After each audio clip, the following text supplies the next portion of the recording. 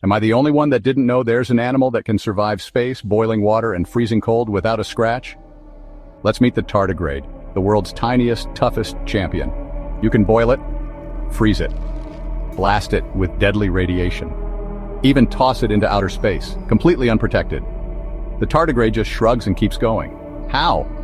This microscopic marvel has a secret move called cryptobiosis. When things get rough, the tardigrade dries itself out and basically hits pause on life, shutting down almost every process inside its body. It's not dead, but it's definitely not living like you or me. In 2007, scientists actually launched tardigrades into open space. No helmet, no oxygen, nothing. They floated in the vacuum for days, blasted by cosmic rays. And when they came back, totally fine. In fact, some of them started having baby tardigrades right away. So what makes them so indestructible? Their unique proteins and sugars protect their insides and repair any damage when they wake up. Imagine if humans could do that.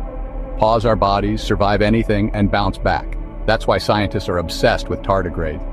Studying these tiny creatures might someday help us survive deep space travel, or even extreme conditions here on Earth. So next time you're feeling tough, just remember, there's a microanimal out there that laughs in the face of extinction. The tardigrade, Earth's ultimate survivor.